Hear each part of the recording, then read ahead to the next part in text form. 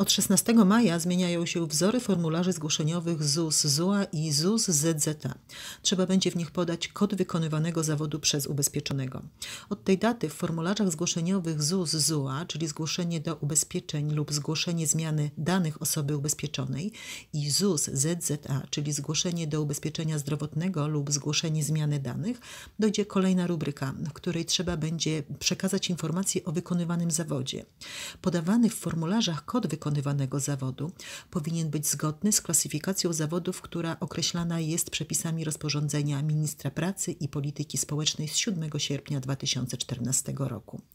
Obowiązek podawania kodu wykonywanego zawodu w dokumentach zgłoszeniowych do ZUS będzie dotyczył tylko tych formularzy, które składane będą od 16 maja 2021 roku. To od tej daty nie będzie można wykorzystywać dotychczasowych wzorów dokumentów ZUS ZUA i ZUS ZZA. Zakład Ubezpieczeń Społecznych dostosuje program Płatnik oraz aplikację e-Płatnik do tych zmian. Odpowiedni kod zawodu będzie można wybrać z podpowiadanej w programach listy.